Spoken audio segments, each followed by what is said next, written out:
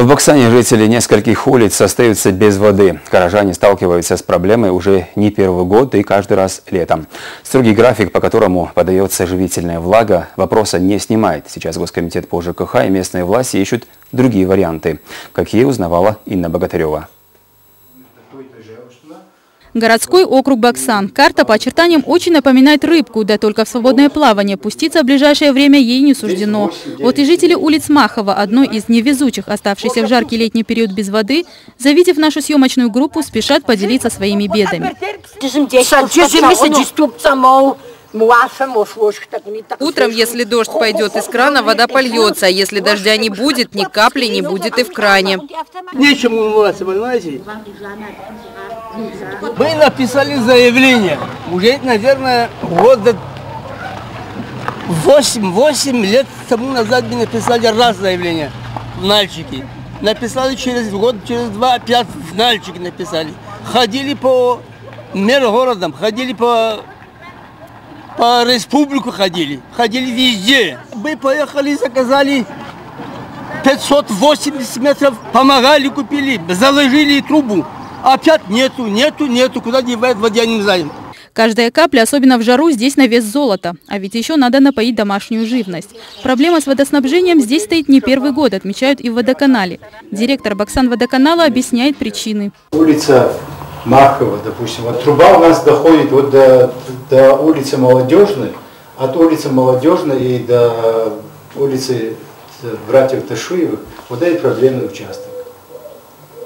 И э, все это э, проблема исходит из того, что нижняя часть сливает бесконтрольную воду. Если нижняя часть не наполняется, она же наверх не пойдет. Пока в нижней части округа жители набирают бассейны и поливают сады, расходуя двойную, а то и тройную норму, в верхней высыхают краны. По данным переписи, в Баксане проживает около 57 тысяч человек. По факту на учете водоканале состоят 35 тысяч. Из них добросовестные полотельщики, по словам Эдуарда Тезадова, составляют только 60%. Остальным живительная влага достается бесплатно. И в итоге получается, что я не могу расплатиться за электроэнергию, которую я получаю. Горсеть если оплаты не будет, нас никто не спрашивает. Приходит, отключает рубильник и все. Тем временем в Баксанских горсетях утверждают, что с начала года, несмотря на долги, отключений не было. И электроэнергия подается круглосуточно и в полном объеме на все скважины. Кстати, сумма задолженности равна той, которой водоканал недополучает от абонентов каждый месяц. Долг 605 тысяч рублей э, водоканал обязан значит, э, закрыть до конца года. 605 тысяч рублей. С 1 августа будет, будет проведена ресурсизация этой суммы, и с текущими платежами водоканал будет оплачивать значит, э, каждый месяц, это, чтобы повышать эту сумму. На каждой скважине стоит э, счетчик, сколько в течение месяца э, потребила данная скважина, и по, этой, и по этим показаниям производится оплата.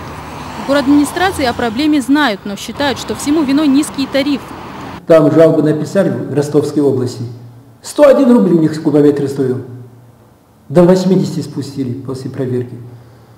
А вы хотите, чтобы я за 7 рублей с глубины 60 метров воду поднял и по всему городу? Это невозможно.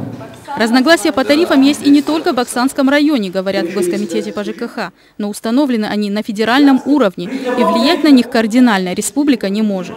Э, поставщики ресурса считают, что тариф был установлен э, более низкий, хотя я считаю, что наша э, система тарифная, она как бы является производной Федеральной службы тарифов и имеет свои ограничения в процессе установления тарифа.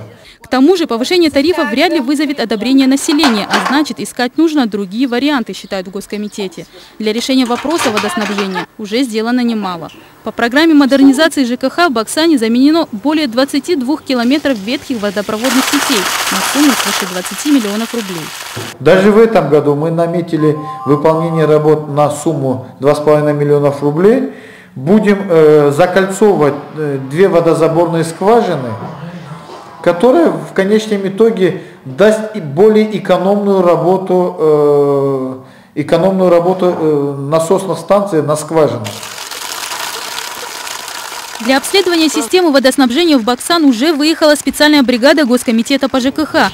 Как вариант рассматриваются новые газогенераторные установки. Их использование водоканалу обойдется в два раза дешевле электрических. Возможно, тогда насосы заработают в полную мощь и вода придет в каждый баксанский дом. Инна Богатырева, Беслан Хаконов, Аслан Хандохов. Вести Кабардино-Балкария.